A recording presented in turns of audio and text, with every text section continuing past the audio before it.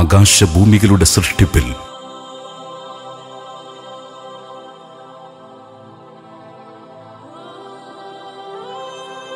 രാപ്പകലുകൾ മാറിവരുന്നതിൽ.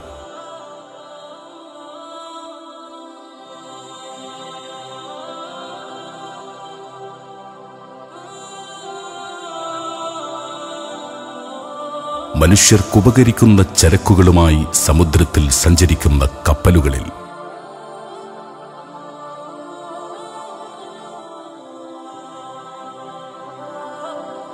അള്ളാഹു ആകാശലോകത്ത് നിന്ന് മഴ വീഴ്ത്തി അതുവഴി ജീവനറ്റ ഭൂമിക്ക് പുതുജീവനേകുന്നതിൽ ഭൂമിയിൽ എല്ലാത്തരം ജീവികളെയും വ്യാപിപ്പിച്ചതിൽ കാറ്റുകളുടെ ഗതിക്രമത്തിൽ.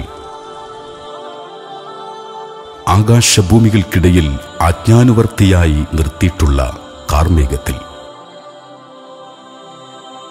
എല്ലാത്തിലും ചിന്തിക്കുന്ന ജനങ്ങൾക്ക് അനേകം ദൃഷ്ടാന്തങ്ങളുണ്ടെന്ന് തീർച്ച.